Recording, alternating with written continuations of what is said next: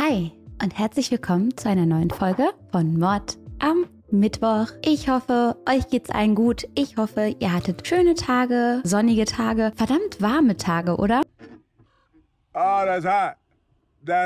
Wahnsinn. Also hier in Köln, die Leute sind wirklich im T-Shirt rausgegangen und mein erster Instinkt war, ich habe mich mega gefreut. Ich dachte mir, wie geil ist es, der Sommer ist zurück. Aber als meine Mama mir dann erzählt hat, dass ihr Kirschbaum wieder blüht, tat mir das richtig leid, weil der so verwirrt war. Der arme Kirschbaum, der dachte, jetzt ist endlich der Frühling. Hm, kurzer Winter, aber wir haben es geschafft. Und jetzt kommt irgendwann dann der richtige Winter und dann geht der dann kaputt, der Kirschbaum. Das tat mir auf jeden Fall leid. Der ist vom Wetter richtig hops genommen worden. Ansonsten war jetzt ja Halloween ich für meinen Teil muss sagen, dass ich gar nicht richtig gefeiert habe. Also ich war in so einer geselligen Runde, wie man so schön sagt, aber ich war jetzt nicht im Club oder so. Ähm, ich hatte da gar keinen Bock drauf. Also ich bin schon eine kleine Tanzliese. Ich mag es eigentlich ganz gern, tanzen zu gehen und auszugehen. Aber die Vorstellung, dann irgendwie in einem knappen Kostüm in irgendeinem Club zu hängen, hier auf den Kölner Ringen, so halb am Erfrieren und dann auf den Stöckelschuhen nach Hause stöckeln. Der eine Fuß tut total weh. Man hat ihn sich auch irgendwie ein bisschen angeknackst und ah,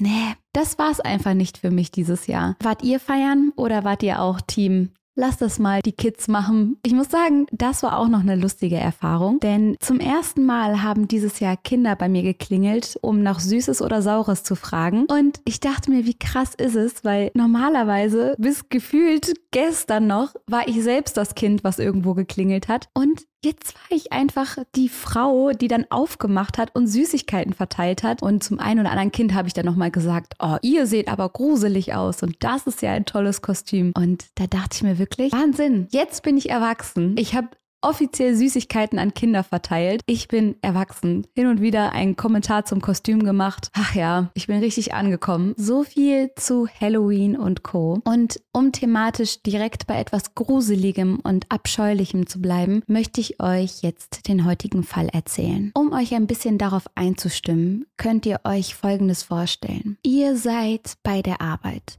oder auf dem Weg nach Hause. Ihr seid alleine, geht mit den Gedanken vielleicht nochmal den Tag durch, träumt ein bisschen vor euch hin und auf einmal steht da ein Mann vor euch. Ihr erschreckt euch vielleicht kurz, aber dann bemerkt ihr, dass der Mann gut aussieht, dass er freundlich wirkt und sogar ein bisschen unbeholfen rüberkommt. Vorsichtig fragt der Mann, hey, ähm, Entschuldigung, hast du eine Minute für mich? Ich brauche kurz deine Hilfe. Er erzählt dir, dass sein Auto liegen geblieben ist. Ob du ganz kurz mit anpacken könntest. Und ja, es war ein langer Tag. Du bist früh morgens aufgestanden, hattest seitdem keine Pause, um zu verschnaufen. Aber du bist ja auch ein guter Mensch. Und deswegen entscheidest du dich dazu, diesem Mann zu folgen. Du läufst hinter ihm her in Richtung Auto. Und dort auf dem Seitenstreifen steht dann sein Auto. Ihr beide nähert euch dem Fahrzeug.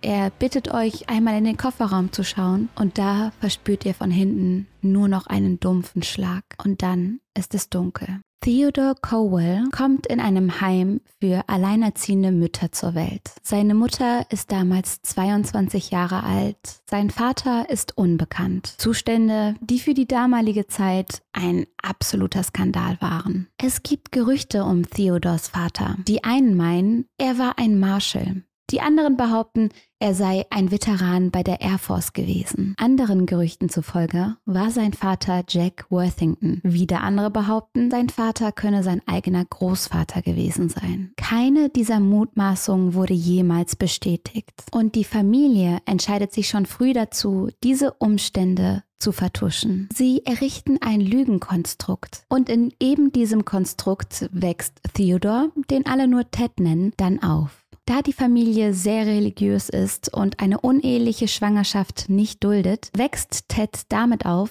dass er seine Mutter für seine Schwester hält. Seine Großeltern geben sich als seine Eltern aus. Jahrelang ist Ted dann in dem Glauben, dass seine Mutter in Wirklichkeit seine Schwester sei. Das Familienleben ist nicht besonders einfach. Gerüchten zufolge war gerade Teds Großvater gewalttätig und sehr, sehr streng. Es heißt, er habe Teds Mutter und Großmutter immer wieder geschlagen und misshandelt. Und so wächst Ted dann damit auf, dass Gewalt an Frauen etwas Alltägliches ist, etwas, das er jeden Tag beobachtet und in dieser Familie normal zu sein scheint. Irgendwann zieht er dann mit seiner Mutter nach Washington. Dort verliebt sie sich neu. 1951 heiratet sie Johnny Bundy und Ted bekommt seinen Nachnamen was ihn dann zu Ted Bundy macht. Aber auch in der neuen Familienkonstruktion scheint es Reibereien zu geben. Teds Mutter bekommt mit seinem Stiefvater neue Kinder und Ted mag den Stiefvater nicht so richtig. Also ihm gefällt diese ganze Konstruktion nicht so. Er hätte sich eher einen Mann mit Geld gewünscht. Ted ist der Status und das, was man nach außen trägt,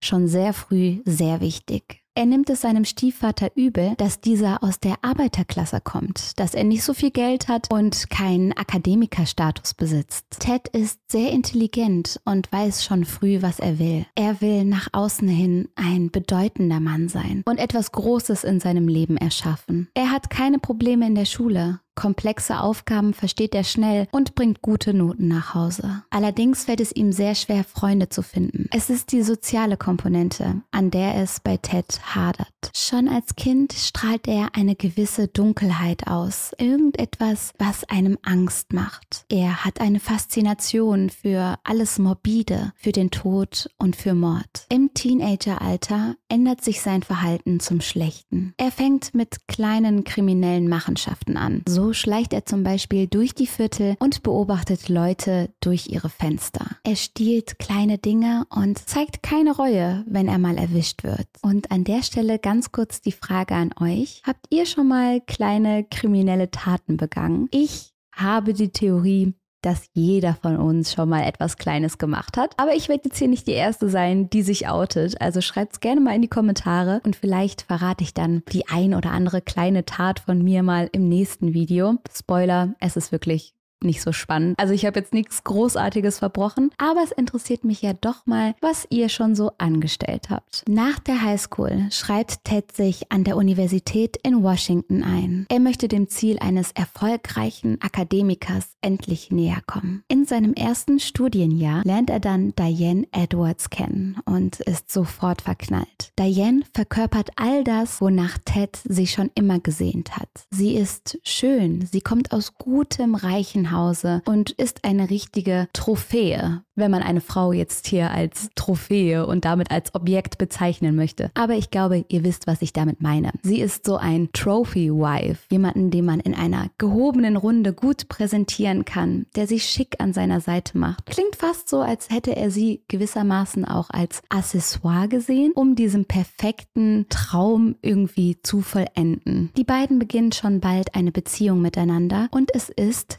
Teds erste richtige Beziehung zu einer Frau. Und eben diese Beziehung wird einen bleibenden Eindruck bei Ted hinterlassen. Dazu später mehr. Er sagte über sie, sie ist ein gut gekleidetes, schönes Mädchen, sehr sympathisch, schönes Auto, tolle Eltern. Und ich glaube, dieser Satz macht wirklich klar, was ich gerade versucht habe zu erklären. Sie hat einfach all diese Punkte erfüllt, nach denen Ted sich selbst gesehnt hat. Klasse, soziale Kompetenz, und Geld. Für eine Freundin, die ich zum ersten Mal hatte, war es also gar nicht schlecht, sagte er. Oft hat Ted aber mit Minderwertigkeitskomplexen zu kämpfen. Er hat das Gefühl, Diane sei eine Nummer zu groß für ihn, zu schön und zu reich. Er fühlt sich klein neben ihr und entwickelt neben der Liebe zu ihr auch einen gewissen Hass. Er verbringt viel Zeit damit, sie zu beeindrucken. Er ist bereit, alles dafür zu tun, von der Arbeit für den republikanischen Kandidaten für Seattle bis hin zu einer Reihe von Bewerbungen bei juristischen Fakultäten hin, macht Ted alles, um sowohl Diane als auch ihre Eltern zu beeindrucken. Immer wieder buhlt er um deren Anerkennung. So sagte er, sie inspirieren mich dazu, mich selbst zu betrachten und mehr zu werden. Was ja auf der einen Seite sehr schön ist, dass man durch seinen Partner Partner die Motivation bekommt, etwas mehr aus sich herauszuholen. Auf der anderen Seite zeigt es auch, dass er das Gefühl hat, noch nicht genug zu sein, dass er irgendwo mehr werden muss, um Diane und ihrer Familie gerecht zu werden. Und das ist natürlich Quatsch. Ihr seid gut genug und verdient alle Liebe der Welt, so wie ihr seid. Ihr müsst niemals für einen Partner mehr aus euch rausholen. Ihr seid toll, genauso wie ihr seid, halt einfach. Aber wenn ihr natürlich an euch arbeiten wollt, dann ist das auch was Schönes und was Feines. Und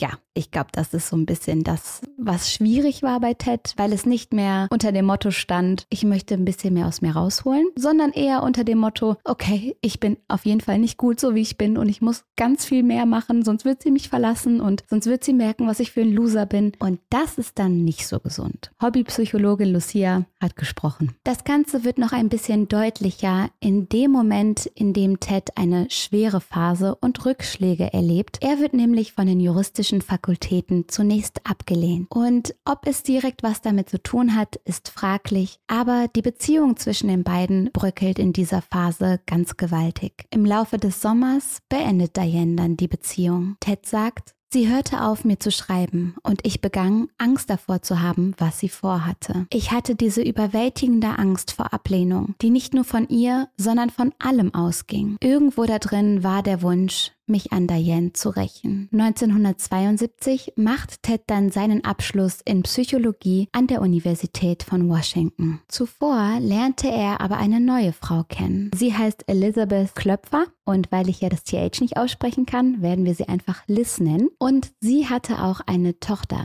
die war sechs Jahre alt. Als alleinerziehende Mutter, vor allem in der damaligen Zeit, hatte Liz wirklich eine harte Phase hinter sich. Sie war alkoholkrank, sie war einsam und freute freut sich sehr, als Ted eines Abends auf sie aufmerksam wird. Zwischen den beiden ging das alles wohl auch ziemlich schnell. Also die haben sich getroffen, kennengelernt und das Wochenende darauf sind die beiden sofort verreist und Ted ist seitdem 24-7 für Liz und ihre Tochter da und Liz sagt, Ted war warmherzig und liebevoll. Sie beschreibt ihn als jemand, der einfach da ist, der sich kümmert und ja, der sie mit Geld und Liebe und Aufmerksamkeit unterstützt hat. Und das zu einem Zeitpunkt, an dem Liz es am allermeisten benötigt hat. Ted sagte einmal über seine Liebe zu Liz, ich habe sie so sehr geliebt, dass es destabilisierend war. Zwischen den beiden scheint es also richtig gut zu laufen, bis die ersten Merkwürdigkeiten auftreten. Merkwürdigkeiten? Ist das ein Wort? Das klingt gerade so falsch. Aber ihr wisst, was ich sagen will. Merkwürdigkeiten. Keine Ahnung. Kennt ihr das, wenn ihr manchmal einfach nicht mehr sprechen könnt? So geht es mir heute schon den ganzen Tag. Grüße gehen raus an meinen Cutter. Der Arme muss sich hier die ganze Zeit schon meine Wortsuppen anhören. naja, auf jeden Fall sind immer mehr seltsame Dinge aufgetreten. So hat Ted zum Beispiel panische Angst davor, dass Liz sich die Haare schneidet. Sie muss ihre Frisur auch immer auf eine ganz besondere Art und Weise tragen. Es soll immer der Mittelscheitel sein. Alles andere ist verboten. Ich weiß, ich schweife gerade viel ab, aber ich hatte da tatsächlich auch eine Diskussion mit einer Freundin drüber, inwiefern sollte der Partner etwas zur Frisur sagen dürfen. Ich finde nämlich gar nicht. Klar ist es irgendwie schön, wenn man darauf achtet, dass man sich für den anderen hübsch macht und ne, dass man einander gefällt. Aber wenn die Liz einen Seitenscheitel tragen will, dann soll sie das verdammt nochmal machen dürfen. Und wenn ihr euch die Haare bunt färben wollt, aber euer Partner sagt, nee, ich mag blond lieber, dann ist das das Problem von eurem Partner. Weil es sind halt eure Haare. Aber schreibt gerne mal in die Kommentare, was ihr dazu denkt. Ich, da gab es letztens eine hitzige Diskussion. Ich bin gespannt. Auf jeden Fall geht es Ted in der Zeit richtig gut. Er ist in der gefestigten Beziehung mit Liz. Nach außen hin wird er immer selbstbewusster, er läuft aufrechter und steht mit beiden Beinen im Leben. Er beginnt auch damit, sich immer mehr in politische Angelegenheiten einzumischen. Er liebt es, irgendwo zu stehen und Reden zu schwingen und seine Meinung zu verkünden. Und es kommt an. Die Leute bezeichnen ihn als charismatisch, als liebenswürdig, als intelligent, als engagiert und gut aussehend. Bei den meisten Menschen erweckt er sofort ein gewisses Vertrauensgefühl. Und eben dieses Gefühl macht es ihm leicht, nun mit seiner Mordserie zu beginnen. Keiner will diesem Mann einen Wunsch ausschlagen. Niemand vermutet etwas, wenn er fragt, ob man ihm nicht kurz mal helfen könne. Ein gut aussehender, fein gekleideter Mann, der selbstbewusst wirkt, hilfsbereit und engagiert. Es ist umstritten, wann genau Ted seinen ersten Mord wohl begangen hat. Außerdem ist umstritten, um wie viele Morde es sich eigentlich handelte. Um die 30 Morde konnte man ihm nachweisen. Die Dunkelziffer könnte aber weit über 100 liegen. Die meisten glauben, dass Ted seine Mordserie 1974 begann. Zu dieser Zeit verschwinden in Seattle jede Menge Frauen. Bald kursieren erste Gerüchte. Die einen sagen, ein Mann mit dunklen Haaren würde darunter stecken. Ein junger Mann, der gut aussieht. Ein Mann, der auf den Namen Ted hören würde. Immer wieder spielt auch das Auto dieses Mannes eine Rolle, weil er seine Opfer zu eben diesem Auto lockt und dann mit ihnen verschwindet. Und das Gemeine ist hierbei, dass die Freundlichkeit der Frauen, die Hilfsbereitschaft ihnen zum Verhängnis wird. Die Frauen, die gesagt haben, ey, ist mir so egal, ob du einen Platten hast, ob dein Auto nicht mehr funktioniert oder was auch immer, ich mache hier mein Ding weiter, frag wen anders, die haben das überlebt. Die Frauen hingegen, die ihre Hilfe angeboten haben, die sind dann häufig verschwunden und nie wieder aufgetaucht. Ted geht dabei sehr, sehr grausam vor. Er schlägt die Frauen häufig. Sind sie einmal tot, vergeht er sich an ihren Leichen. Die Leichen versteckt er dann so, dass er sie wiederfindet, um sich in den darauffolgenden Tagen wieder an den Leichen zu vergehen. Mindestens zwölf seiner Opfer wurden durch ihn enthauptet. Einige der Köpfe soll er für eine gewisse Zeit lang in seiner Wohnung als Trophäen aufbewahrt haben. Er scheint durch diese grausamen Taten einen sexuellen Trieb befriedigen zu wollen, deswegen zu töten. Zu dieser Zeit fallen Liz immer mehr Kleinigkeiten in der Wohnung auf. Dinge, die nicht zusammenpassen. Einmal findet sie ein Fleischerbeil in Teds Schreibtischschublade. Immer wieder sieht sie Frauenklamotten, Haarspangen oder so, von denen sie weiß, dass es nicht ihre sind. Wenn immer sie versucht, Ted damit zu konfrontieren, dreht er sofort durch. Sie solle aufhören, in seinen Sachen herumzuschnüffeln, sie sei so neugierig und er brauche seine Privatsphäre. Und als sie ihn einmal wieder darauf anspricht, schreit er, ich werde dir den Hals brechen, wenn du mit irgendwem darüber sprichst ansprichst. Irgendwann findet Liz dann Frauenunterwäsche und als sie ihn damit dann konfrontiert, bedroht er sie wieder. Liz gibt dann irgendwann auf. Sie hat das Gefühl, dass Ted eine Affäre hat. Sie ist einfach super traurig, ihr Herz ist gebrochen, aber sie ahnt ja nicht, was wirklich dahinter steckt. An einem Abend sagt sie zu ihm, was ist das? Und er antwortet, wenn du das jemals jemandem erzählst, schlag ich dir deinen verdammten Kopf ein. Zwischen Liz und Ted ist es ein ewiges Auf und Ab. Es ist eine verdammt toxische On- und Off-Beziehung. Und Ted weiß, wie sehr Liz ihn liebt und wie sehr sie ihn braucht. Beziehungsweise wie sehr sie denkt, dass sie ihn braucht. Weil, ne, die Gute, die braucht keinen Mann, die schafft das alles auch so. Aber wenn man einmal verliebt ist und in diesem toxischen Wirrwarr drin, ist es natürlich schwer, da rauszukommen. Und genau das nutzt Ted aus. Er ist ein Narzisst durch und durch und er hat es raus, die Leute wieder für sich zu gewinnen, sollte er sie einst verloren haben. Zu Liz zu kommen und zu sagen, hey, ich hab dich so vermisst, ich liebe dich so sehr, nimm mich zurück, war ein leichtes für ihn. Er war charismatisch, er konnte die Leute von sich überzeugen. Und so schaffte er es, neben der Beziehung mit Liz wieder mit seiner Ex Diane zusammenzukommen. Diese Beziehung ließ er aber nur ganz kurz aufleben. Man vermutet, dass er Diane nur beweisen wollte, was er in der Zeit, in der sie nicht zusammen waren, so erreicht hat. Oft spricht er von Heirat, sagt Diane, sie sei die Liebe seines Lebens und er habe sie so vermisst und er wolle einfach, dass sie seine Frau ist und bla bla bla, ihr könnt es euch vorstellen. Auf jeden Fall ließ er Diane in der Sekunde fallen, machte auf brutalste Art und Weise mit ihr Schluss, in der er sich ihrer Liebe wieder sicher war. Die ein oder anderen gehen davon aus,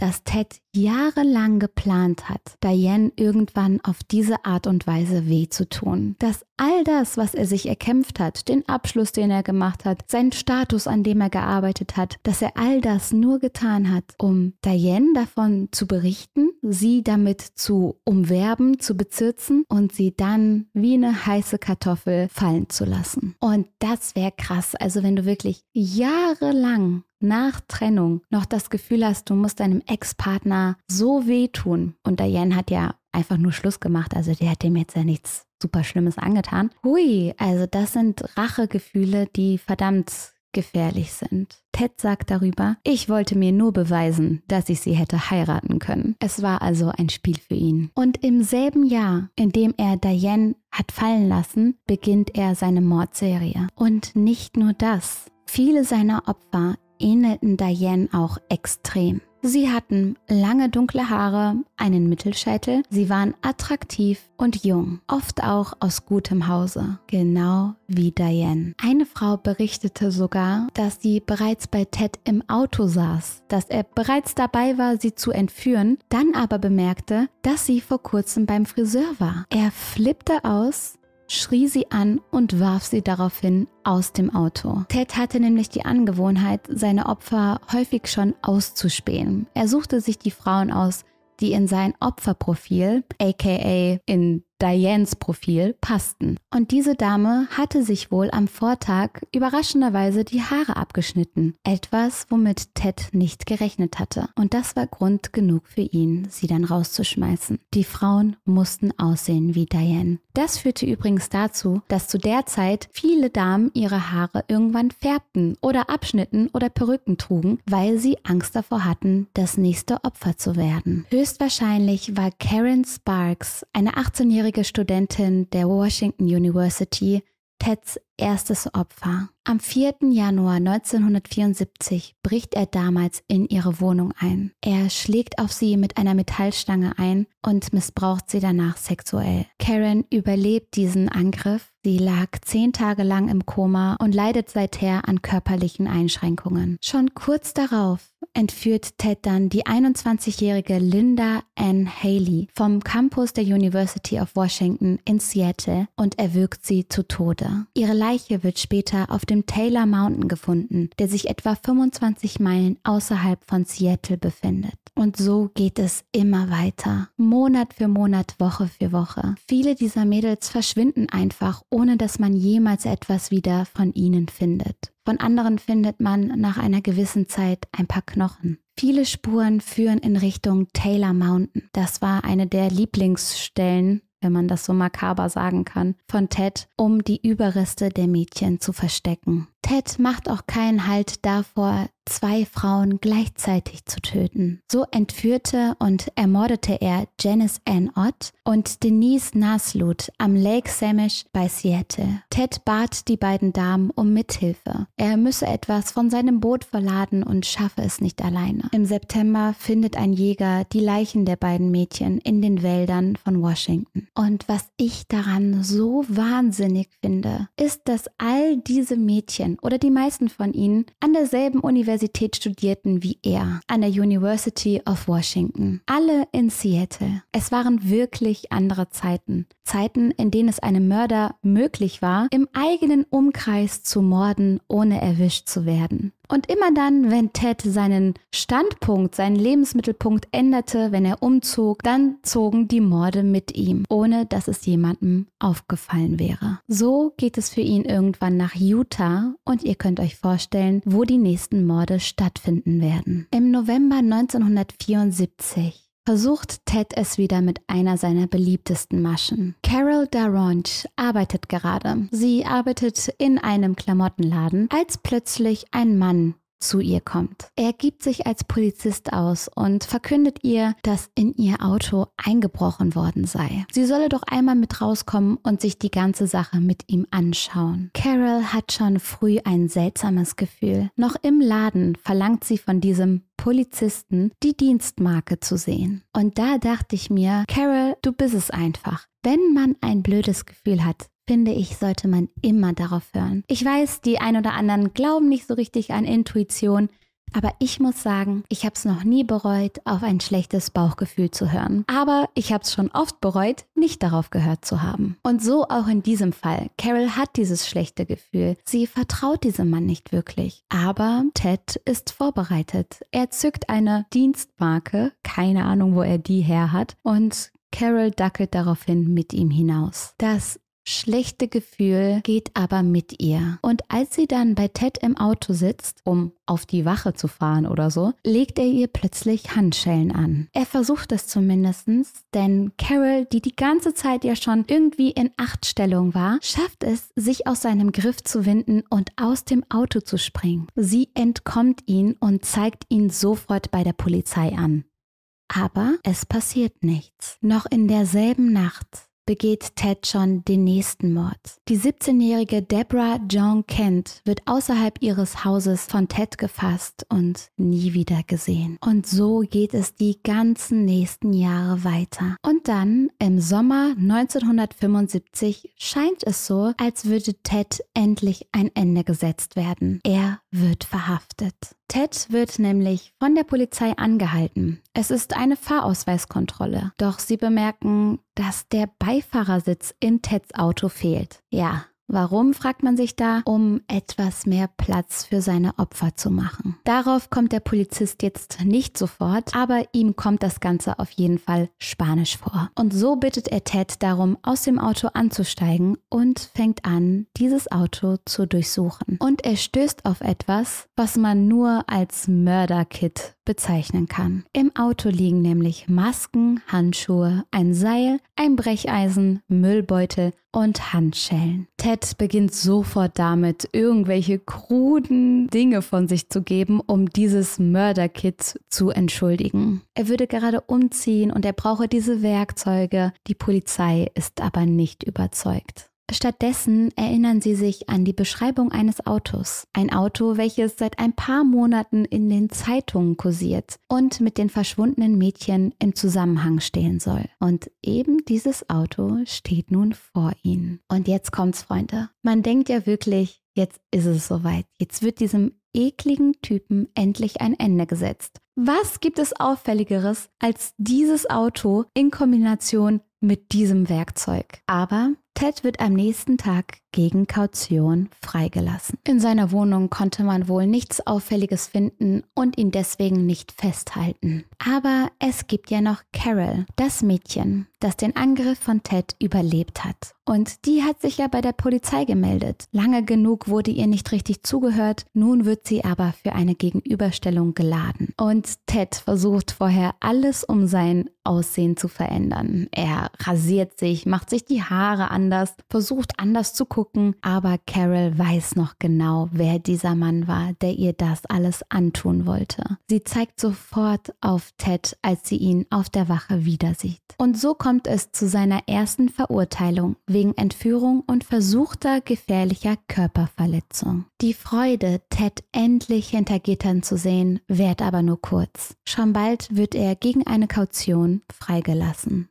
Schon wieder. Kurze Zeit später wird er aber bereits erneut angeklagt. Diesmal wegen des Mordes an Karen Campbell. Karen war damals im Urlaub gewesen, als sie auf Ted traf. Er tötete sie mit Schlägen auf den Kopf und versteckte ihre Leiche ein paar Meilen vom Gasthaus entfernt. Für Ted beginnt nun der Prozess und was soll ich sagen? Er liebte es. Er bestand darauf, sich selbst zu verteidigen. Und dafür darf er sich dann ohne Handschellen frei durch das Gebäude bewegen. Und das nutzt er aus. An einem Morgen bittet er das Personal, die juristische Bibliothek zu verlassen. Er sagt, er wolle sich in Ruhe in die Themen einlesen und sich optimal verteidigen, sich darauf vorbereiten. Und die Wächter gehen. Es ist unfassbar. Auf jeden Fall entdeckt er natürlich ein offenes Fenster und haut ab. Wenn es nicht so tragisch wäre, wäre es einfach nur lächerlich. Natürlich wussten die nicht, dass sie es mit einem Serienmörder zu tun haben, aber dass dieser Mann gefährlich ist und bereit ist, Frauen weh zu tun, das war bekannt. Naja, ich will mich nicht zu sehr aufregen.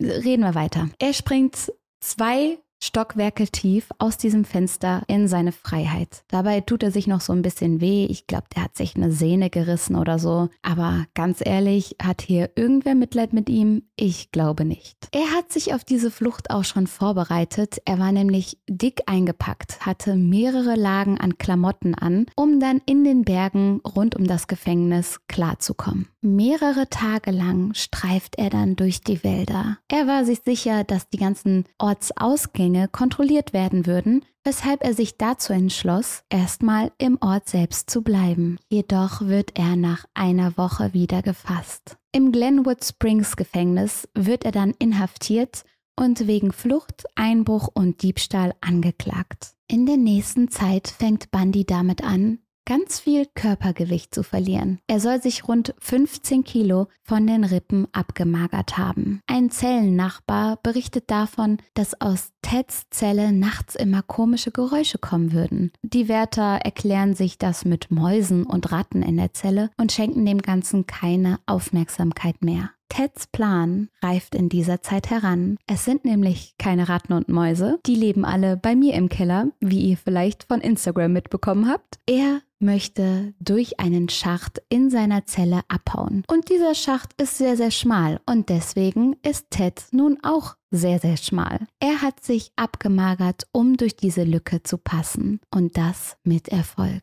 Am Abend seines Ausbruchs packt er Bücher und Kissen unter sein Bettlaken, um einen schlafenden Ted zu simulieren. Dann klettert er durch das Loch. Er klettert durch einen Hohlraum und springt im Wohnraum der Wärter wieder raus. Es ist Silvester und die meisten Wärter sind bei ihren Familien, um zu feiern. Das war natürlich kein Zufall.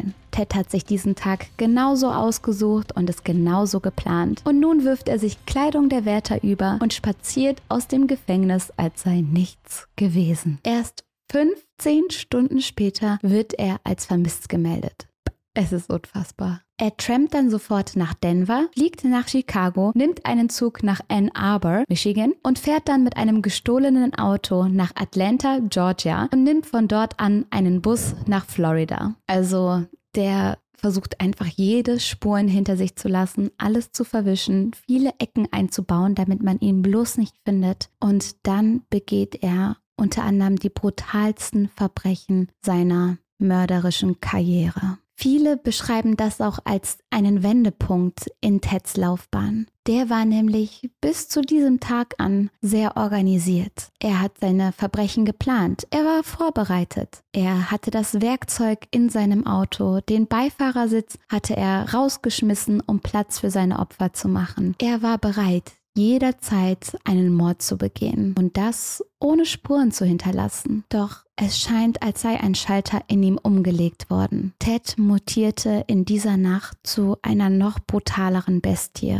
als die, die er schon war. Am frühen Morgen betritt er das Haus der Studentenverbindung Chi Omega der Florida State University. Er schleicht sich in das Zimmer von Margaret Bowman. Dort schlägt er auf sie ein, bis er sie mit einem Strumpf erwürgt. Danach geht er einfach zu ihrer Zimmernachbarin über. Die 20-jährige Lisa Levy wird auch von ihm erwürgt und erschlagen. Bei ihr ist er noch brutaler. Er beißt in ihrem Po und beißt ihr einen Nippel ab. Anschließend vergeht er sich an ihrer Leiche und geht danach ein Zimmer weiter. In diesem Zimmer schlafen Ann Chandler und Kathy Kleiner. Er verprügelt die Frauen. Beide weisen gebrochene Kiefer, Nasen, zertrümmerte Schädel und weitere Knochenbrüche auf. Jedoch überleben sie, wenn auch nur knapp. Diese abscheulichen Taten führt Ted in gerade mal einer Viertelstunde durch. Wie ein Monster streift er dort durch die Gänge und Zimmer, immer auf der Suche nach neuen Opfern. Und er ist dabei eben gar nicht mehr organisiert. Er achtet nicht darauf, ob er Spuren hinterlässt, ob es laut ist. Er will einfach seiner Mordlust Raum machen. Sein nächstes Opfer ist Cheryl Thomas. Sie begegnet ihm auf den Flur und er schlägt auf sie ein, zertrümmert ihren Schädel, aber auch sie überlebt diesen Angriff. Überraschenderweise, wirklich wie durch ein Wunder. Nach diesem Angriff bleibt Cheryl für ihr Leben lang taub. Teds nächstes Opfer ist gerade mal zwölf Jahre alt. Nachdem er sie vergewaltigte und tötete, wird er gefasst. Sie soll das letzte Opfer in seiner schrecklichen Mordserie gewesen sein. Ted wird nämlich in seinem Auto angehalten. Nachdem die Beamten sein Kennzeichen überprüften, stellen sie fest, dass es sich bei Teds Auto um ein gestohlenes Auto handelt. In seinem Auto finden sie drei Ausweise von den gerade erst ermordeten Mädchen sowie 21 gestohlene Kreditkarten und einen gestohlenen Fernseher. Aber die Polizei checkt immer noch nicht, dass es sich bei diesem Mann um den berüchtigten Serienkiller handelt, der seit Jahren nun sein Unwesen treibt. Grund dafür war natürlich auch die damalige Zeit. Es gab keine allumfassenden Computersysteme, wo du hier in Deutschland einen Namen eingibst und das FBI und was weiß ich Bescheid wissen und äh, alle miteinander vernetzt sind und man so weltweite Suchaktionen starten kann, sondern Die Polizeipräsidien haben damals sehr lokal gehandelt oder auch nicht gehandelt in dem einen oder anderen Fall und kaum miteinander kommuniziert. Und da Ted ja hin und wieder seinen Lebensmittelpunkt verschoben hat, umgezogen ist, weitergezogen ist, ja, war das alles immer lokale Angelegenheit und wurde nie miteinander verknüpft. So kriegt man Ted erst für die beiden Morde an Levi und Bowman dran, sowie wegen dreifach versuchten Mordes und Einbruch. Im Prozess heiratet Ted dann 1980 Carol Ann Boone. Die beiden kannten sich noch damals aus Washington. Während der Zeit, wo die beiden sich kennengelernt hatten, war Ted eigentlich mit Liz noch liiert, aber ja, das hat er wohl nicht so genau genommen mit der Treue. Auf jeden Fall heiraten Ted und Carol und da dachte ich mir, wie kann eine Frau das machen? Wie kannst du als Frau jemanden heiraten, der anderen Frauen so etwas angetan hat. Wir müssen doch zusammenhalten. Ich verstehe das nicht. Auch die Frauen, die an Serienkiller, hier Chris Watts zum Beispiel, der kriegt so viele Liebesbriefe. Er hat seine Frau und seine Kinder getötet. Wieso kriegt dieser Mann Liebe und Aufmerksamkeit? Von anderen Frauen. Wenn, also, wir sind doch ein Team, denke ich mir dann immer. Carol sagt später, dass sie davon ausgegangen ist, dass Ted unschuldig war und dass sie deswegen zu ihm gestanden hat. Die beiden kriegen sogar eine Tochter zusammen und irgendwann lässt sich Carol dann auch von ihm scheiden. Und trotzdem denke ich mir, wirklich, wir Frauen, wenn wir nicht zusammenhalten, was haben wir denn da noch? Dann sind wir ja verloren. Wir müssen schon ein Team sein. Und wenn jemand Frauen was Böses tut, dann darf der halt nicht mehr mitmachen. Dann hat er Pech gehabt. Dann kriegt er keine Liebe mehr. Ich finde das so doof. Auf jeden Fall gesteht Ted dann kurz vor seiner Hinrichtung, zu die er verurteilt wurde, alle seine Verbrechen. Zumindest die Verbrechen, mit denen man ihn dann irgendwann in Verbindung gebracht hat. Die Verbrechen, die man ihm nachweisen konnte, weil er zu der Zeit am richtigen Ort war zum Beispiel. Wie gesagt, vermutet man aber eine viel, viel höhere Dunkelziffer. Es wird davon ausgegangen, dass Ted vielleicht 100 bis 300 Frauen tötete. Nach wie vor gibt es Frauen, die verschwunden sind, wo die Familien bis heute nicht wissen, was passiert ist. Frauen, bei denen vermutet wird, dass auch sie Ted zum Opfer gefallen waren. Am 24. Januar 1989 soll Ted dann durch den elektrischen Stuhl hingerichtet werden. Viele Menschen schalten an diesem Tag den Strom zu Hause ab. Das soll wohl dazu führen, dass Ted eine höhere Stromzufuhr auf dem elektrischen Stuhl bekommt und qualvoller stirbt. Außerdem versammeln sich die Menschen vorm Gefängnis, um seinen Tod zu zelebrieren. Boah, ist auch ganz schön makaber. Ne? Ich will ihn auf gar keinen Fall schützen. Aber es erinnert mich so an das Mittelalter, wo das ja wirklich so ein richtiges Volksfest war, wenn irgendwer da öffentlich hingerichtet wurde. Boah, gruselig. Ted bekennt sich am Ende zu 36 Morden in mehreren Bundesstaaten. Die genaue Zahl werden wir jedoch niemals erfahren. Ted selber gestand, dass er viele Morde nicht zugeben würde, um die Familien der Opfer zu schützen. Zum Beispiel, weil die Opfer zu jung waren. Und da man weiß, dass er mehrere Zwölfjährige getötet hat, graut es einem bei der Vorstellung, was für ihn zu jung war, um es zu gestehen. Wie jung waren die jüngsten Opfer? Hat er Kinder getötet? Also Zwölfjährige sind ja auch noch Kinder. Und er meint, es gab weitaus jüngere Opfer. Außerdem kursiert die Frage, wieso Liz noch lebt. Liz, die ja ihren Alltag mit diesem Mann teilte. Liz, die übrigens immer wieder versucht hat, der Polizei zu stecken, was Ted wohl treiben könnte. Man könnte ja meinen, dass sie irgendwie nichts gesagt hat oder warum hat sie nicht geholfen, warum hat sie ihn nicht verpetzt. Aber das hat sie versucht. Sie ist zum Polizeipräsidium gegangen. Sie hat angerufen. Sie hat versucht, der Polizei ihre Version zu erzählen. Davon zu erzählen, dass ihr Mann irgendwie nachts weg ist, dass sie plötzlich Dinge von fremden Frauen findet, dass er aussieht wie der Mann, der gesucht wird. Aber keiner wollte ihr zuhören. Und da dachte ich mir, wie schrecklich muss es für Liz gewesen sein. Die Zeit, in der sie vermutet hat, dass ihr Partner hinter dieser Mordserie steckt. Eine Zeit, in der ihr keiner helfen oder zuhören wollte. Viele denken, dass Ted Liz nicht umgebracht hat, weil er sie zu sehr liebte. Und dass er vielleicht, um Liz zu schützen, immer rausgegangen ist, um andere zu töten. In einem Telefonat nach der Verhaftung fragt Liz Ted, ob er sie benutzte, um Kontakt zur Realität zu haben, da er oft mit ihr sprach oder sich an sie wandte, bevor oder nachdem er jemanden tötete. Ted antwortete, ja, das ist eine ziemlich gute Vermutung. Ich habe keine gespaltene Persönlichkeit. Ich habe keine Blackouts. Ich erinnere mich an alles, was ich getan habe. Die Macht würde mich einfach verzehren. Eines Abends zum Beispiel ging ich am Campus vorbei und folgte dem Mädchen aus der Studentenverbindung. Ich wollte ihr nicht folgen. Ich habe versucht, es nicht zu tun, aber ich habe es trotzdem getan. Außerdem vermuten manche, dass Liz für Ted die perfekte Tarnung war. Sie hatte eine süße Tochter, die beiden lebten ihr kleines eigenes Familienleben und so konnte Ted die perfekte Fassade aufrechterhalten. Der engagierte Politiker, mit der hübschen Frau, der kleinen Tochter, die zwar nicht seine war, aber das musste ja keiner wissen und das sah nach außen hin natürlich sweet aus. Außerdem würde er, sollte man Liz tot auffinden, direkt zum Hauptverdächtigen werden. Ted zufolge lag es einfach an seiner unendlichen Liebe Liz gegenüber. Puh, ja, und so schließt sich der heutige Fall. Ich muss sagen, es ist ein ganz schönes Brett. Ich werde nie verstehen, wie jemand so viel Brutalität in sich tragen kann. Wie er dort durch das Verbindungshaus gegangen ist und einfach nur getötet und verletzt hat. Ich verstehe nicht, wie so etwas in einem Menschen zustande kommen kann. Ich muss sagen, dass es mir unfassbar leid tut, vor allem für all die Familien, die nach wie vor nach ihrer Tochter, ihrer Enkelin, ihrer Schwester, ihrer Tante suchen, ohne zu wissen, dass sie vielleicht Opfer von Ted Bundy waren. Ich hoffe, dass alle in Frieden ruhen können und ja, mir fehlen die Worte. Wirklich, der soll richtig schmoren, egal wo der jetzt gerade ist. Ne? Ich hoffe, da ist es wirklich blöd und nicht schön. Und ich hoffe, dass er an einem Ort ist, den er verdient. Und am Ende kann ich nur sagen, lasst uns trotzdem einander helfen. Ich weiß, dieser Fall schreckt ganz schön ab, weil man sich denkt, boah, hätten die Mädels ihm nicht geholfen, dann, ne?